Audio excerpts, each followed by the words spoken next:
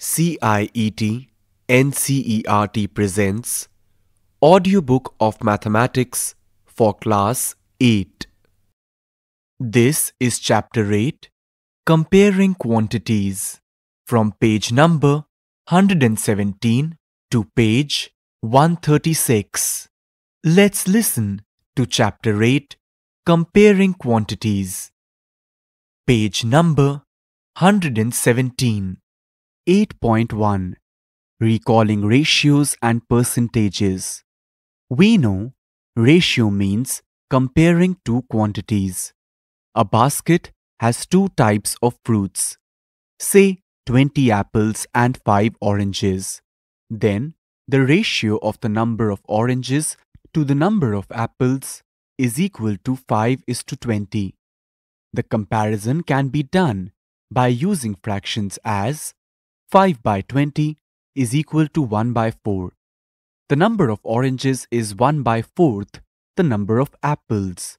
In terms of ratio, this is 1 is to 4 read as 1 is to 4 or number of apples to number of oranges is equal to 20 by 5 is equal to 4 by 1 which means the number of apples is 4 times the number of oranges. This comparison can also be done by using percentages.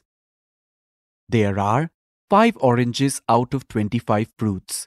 So, percentage of oranges is 5 by 25 into 4 by 4 is equal to 20 by 100 is equal to 20%.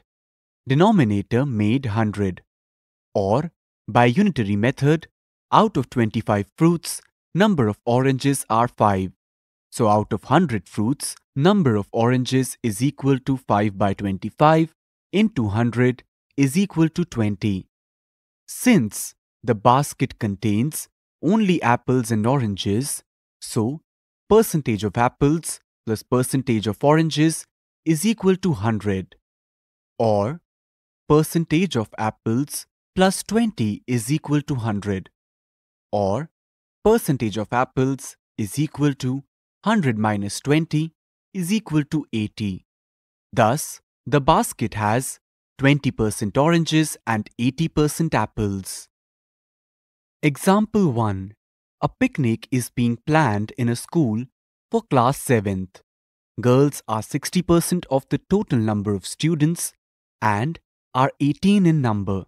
The picnic site is 55 kilometers from the school and the transport company is charging at the rate of rupees 12 per kilometer. The total cost of refreshments will be rupees 4280. Page 118. Can you tell 1. The ratio of the number of girls to the number of boys in the class 2. The cost per head if two teachers are also going with the class 3. If their first stop is at a place 22 kilometers from the school, what percent of the total distance of 55 kilometers is this? What percent of the distance is left to be covered? Solution 1. To find the ratio of girls to boys, Ashima and John came up with the following answers. They needed to know the number of boys and also the total number of students. Ashima did this. Let the total number of students be x. 60% of x is girls. Therefore, 60% of x is equal to 18. 60 by 100 into x is equal to 18 or x is equal to 18 multiplied by 100 divided by 60 is equal to 30. Number of students is equal to 30. Or, John used the unitary method. There are 60 girls out of 100 students. There is one girl out of 100 by 60 students.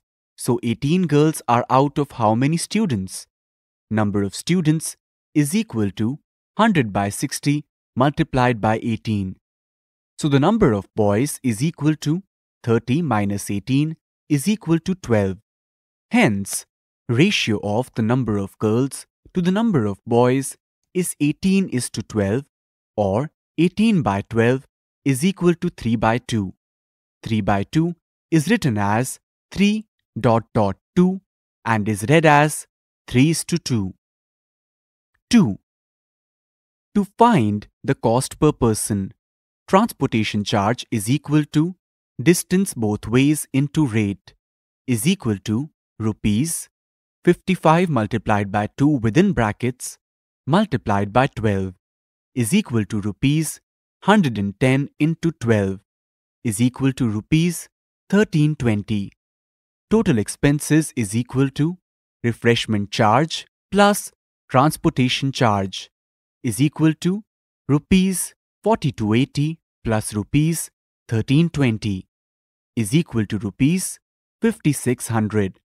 Total number of persons is equal to 18 girls plus 12 boys plus 2 teachers is equal to 32 persons. Ashima and John then used unitary method to find the cost per head. For 32 persons, amount spent would be rupees 5600. The amount spent for one person is equal to rupees 5600 divided by 32, which is equal to rupees 175. 3. The distance of the people where first stop was made is equal to 22 kilometers. Page 119. To find the percentage of distance, Ashima used this method. 22 by 55 is equal to 22 by 55 into 100 by 100 is equal to 40%. She is multiplying the ratio by 100 by 100 is equal to 1 and converting to percentage. Or John used the unitary method. Out of 55 kilometers, 22 kilometers are travelled. Out of 1 kilometer, 22 by 55 kilometers are travelled. Out of 100 kilometers, 22 by 55 into 100 kilometers are travelled. That is, 40% of the total distance is travelled. Both came out with the same answer that the distance from their school of the place where they stopped at was 40% of the total distance they had to travel. Therefore, the percent distance left to be travelled is equal to 100% minus 40% is equal to 60%. Try these. In a primary school, the parents were asked about the number of hours they spent per day in helping their children to do homework. There were 90 parents who helped for half hour to one and a half hours. The distribution of parents according to the time for which they said they helped is given in the adjoining figure. 20% helped for more than one and a half hours per day. 30% helped for half hour to one and a half hours. 50% did not help at all. Using this, answer the following. 1. How many parents were surveyed? 2. How many said they did not help? 3. How many said that they helped for more than one and a half hours? There is a circle given here. The circle has been divided into three parts. 50% did not help at all, 30% helped for half hour to one and a half hour, 20% helped for more than one and a half hour. Exercise 8.1 1. Find the ratio of the following. A. Speed of a cycle 15 km per hour to the speed of scooter 30 km per hour. B. 5 meter to 10 kilometer. C. 50 paise to rupees 5. 2. Convert the following ratios to percentages. A. 3 is to 4. B. 2 is to 3. 3. 72% of 25 students are interested in mathematics. How many are not interested in mathematics? 4. a football team won 10 matches out of total number of matches they played. If their win percentage was 40, then how many matches did they play in all? 5. If Chameli had rupees 600 left after spending 75% of her money, how much did she have in the beginning? Page 120. 6. If 60% people in a city like cricket, 30% like football, and the remaining like other games, then what percent of the people like other games? If the total number of people is 50 lakh, find the exact number who like each type of game. 8.2 Finding the increase or decrease percent. We often come across such information in our daily life as 1. 25% off on marked prices. 2. 10% hike in the price of petrol. Let us consider a few such examples. Example 2. The price of a scooter was 34,000 last year. It has increased by 20% this year. What is the price now? Solution Amita said that she would first find the increase in the price, which is 20% of rupees 34,000, and then find the new price. 20% of 34,000 is equal to rupees 20 by 100 into 34,000 is equal to rupees 6800. New price is equal to old price plus increase is equal to rupees 34,000 plus rupees 6800 is equal to rupees 40,800. Or Sunita used the unitary method. 20% increase means rupees 100 increased to rupees 120. So, rupees 34,000 will increase to increased price is equal to rupees 120 by 100 into 34,000 is equal to rupees 40,800. Similarly, a percentage decrease in price would imply finding the actual decrease followed by its subtraction from the original price. Suppose in order to increase its sale, the price of scooter was decreased by 5%. Then let us find the price of scooter. Price of scooter is equal to 34,000 rupees. Reduction is equal to 5% of rupees 34,000. Rupees 5 by 100 into 34,000 is equal to rupees 1700.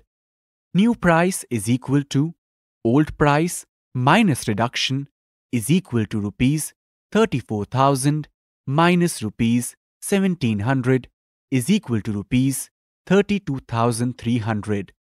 We will also use this in the next section of the chapter. 3.3 Finding Discounts Discount is a reduction given on the marked price or MP of the article. This is generally given to attract customers to buy goods or to promote sales of the goods. You can find the discount by subtracting its sale price from its marked price. So, discount is equal to marked price minus sale price. Page number 121. Example 3. An item marked at rupees 840 is sold for rupees 714. What is the discount and discount percentage? Solution. Discount is equal to marked price minus sale price. Rupees 840 minus rupees 714 is equal to rupees 126. There is an image of a girl who says, Since discount is on marked price, we will have to use marked price as the base. On marked price of rupees 840, the discount is rupees 126. On MP of rupees 100, how much will the discount be? Discount is equal to 126 by 840 into 100%, which is equal to 15%. There is an image of a teacher here.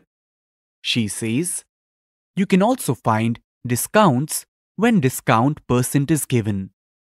Example 4. The list price of a frock is rupees 220. A discount of 20% is announced on sales. What is the amount of discount on it and its sale price? Solution. Marked price is same as the list price. 20% discount means that on rupees 100 MP, the discount is rupees 20. By unitary method, on rupee 1 discount, the discount will be rupees 20 by 100. On rupees 220, discount is equal to 20 by 100 into 220 is equal to 44. The sale price is equal to 220 minus 44 or rupees 176. Rehana found the sale price like this. A discount of 20% means for a MP of rupees 100, discount is 20. Hence, the sale price is rupees 80. Using unitary method, when MP is rupees 100, sale price is rupees 80. When MP is rupees 1, sale price is rupees 80 by 100. Hence, when MP is rupees 220, sale price is equal to rupees 80 by 100 into 220 is equal to rupees 176. We have an image of a frock here. 20% off is written over it. The price of frock is rupees 220. There is an image of a girl on right side of the page. She is saying, even though the discount was not found, I could find the sale price directly. Try these. 1. A shop gives 20% discount. What would the sale price of each of these be? A. A dress marked at rupees 120. B. A pair of shoes marked at rupees 750. C. A bag marked at rupees 250. 2. A table marked at rupees 15,000 is available for rupees 14,400. Find the discount given and the discount percent. 3. An Almira is sold at rupees 5,225 after allowing a discount of 5%. Find its marked price. Page number 122. 8.3.1 Estimation in percentages. Your bill in a shop is rupees 577.80 and the shopkeeper gives a discount of 15%. How would you estimate the amount to be paid? 1. Round off the bill to the nearest tens of rupees 577.80 that is to rupees 580. 2. Find 10% of this that is rupees 10 by 100 into 580 is equal to rupees 58. 3. Take half of this that is half multiplied by 58 is equal to rupees 29. 4. Add the amounts in 2 and 3 to get 87. You could therefore reduce your bill amount by rupees 87 or by about rupees 85, which will be rupees 495 approximately. 1. Try estimating 20% of the same bill amount. 2. Try finding 15% of rupees 375. 8.4 Prices related to buying and selling. Profit and loss. We have a conversation given here there is an image of a girl who says, For the school fair or mela, I am going to put a stall of lucky dips. I will charge rupees 10 for one lucky dip, but I will buy items which are worth 5 rupees. There is an image of a boy who is asking her, So, you are making a profit of 100%? The girl replies, No, I will spend 3 rupees on paper to wrap the gift and tape, so my expenditure is 8 rupees. This gives me a profit of 2 rupees, which is 2 by 8 in 200%, which is equal to 25% only. There is an image of a teacher here. She says, Sometimes when an article is bought, some additional expenses are made while buying or before selling it. These expenses have to be included in the cost price. These expenses are sometimes referred to as overhead charges. These may include expenses like amount spent on repairs, labor charges, transportation, etc. 8.4.1 Finding cost price or selling price, profit percentage or loss percentage. Example 5. Sohan bought a second-hand refrigerator for rupees 2500 then spent rupees 500 on its repairs and sold it for rupees 3300 find his loss or gain percent. Solution cost price or cp is equal to 2500 plus 500 overhead expenses are added to give cp which is equal to rupees 3000 sale price or sp is equal to rupees 3300 as sp is more than cp he made a profit. Rupees 3300 minus rupees 3000 is equal to rupees 300 his profit on rupees 3000 is rupees 300 how much would be his profit on rupees 100 profit is equal to 300 by 3000 into 100% which is equal to 30 by 3% which is equal to 10% p percent is equal to p by cp into 100 page number 123 try these. 1 find selling price or sp if a profit of 5% is made on a a cycle of rupees 700 with rupees 50 as overhead charges b a lawn mower bought at rupees 1150 with rupees 50 as transportation charges. C. A fan bought for rupees 560 and expenses of rupees 40 made on its repairs. Example 6. A shopkeeper purchased 200 bulbs for rupees 10 each. However, 5 bulbs were fused and had to be thrown away. The remaining were sold at rupees 12 each. Find the gain or loss percent. Solution Cost price of 200 bulbs is equal to 200 into 10 is equal to rupees 2000.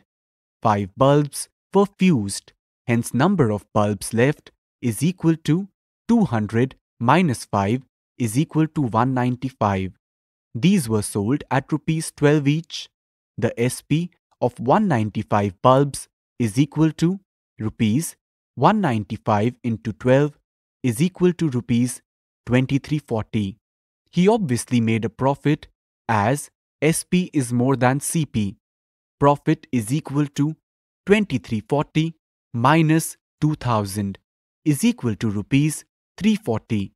On rupees 2000, the profit is rupees 340. How much profit is made on rupees 100? Profit is equal to 340 by 2000 into 100% is equal to 17%. Here we have an image of bulb. CP is rupees 10, SP is rupees 12. Example 7. Meenu bought two fans for rupees 1200 each. She sold one at a loss of 5% and the other at a profit of 10%. Find the selling price of each. Also find out the total profit or loss. Solution Overall CP of each fan is equal to rupees 1200. One is sold at a loss of 5%. This means if CP is rupees 100, SP is rupees 95. Therefore, when CP is rupees 1200, then SP is equal to rupees 95 by 100 into 1200 is equal to rupees 1140. Also, second fan is sold at a profit of 10%. It means if CP is rupees 100, SP is rupees 110. Therefore, when CP is rupees 1200, then SP is equal to rupees 110 by 100 into 1200 is equal to rupees 1320. There is an image of a teacher on the right side of the page. She is asking, was there an overall loss or gain? There is an image of a young girl who replies, we need to find the combined CP and SP to say whether there was an overall profit or loss. Total CP is equal to rupees 1200 plus rupees 1200 is equal to rupees 2400.